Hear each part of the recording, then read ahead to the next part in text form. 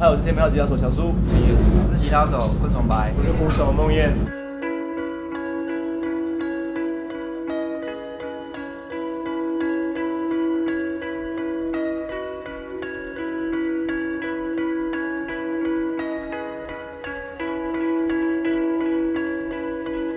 第一次来复兴话，可是可是却是以表演者的身份来。我不是要表演，我可能没有机会来复兴话，所以刚好有机会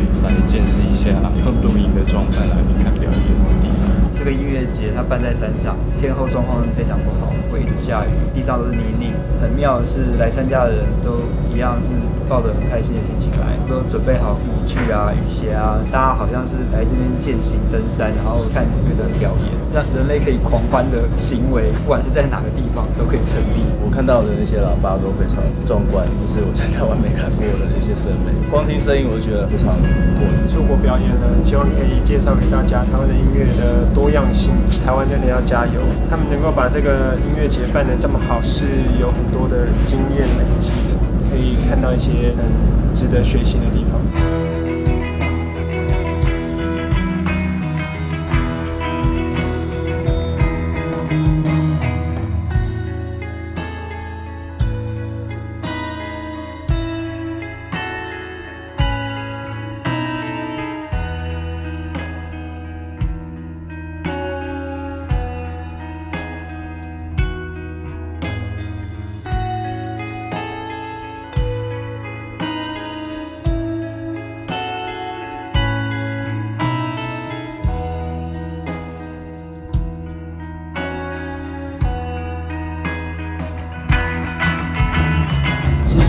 来这个舞台，我来之前就知道是个小舞台，是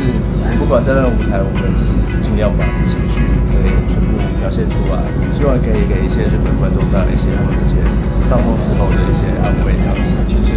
这个是一个一千人的舞台，在台湾这个应该算大的，只是这个地方好像有两个上万人的舞台，那摆在这里好像是小的。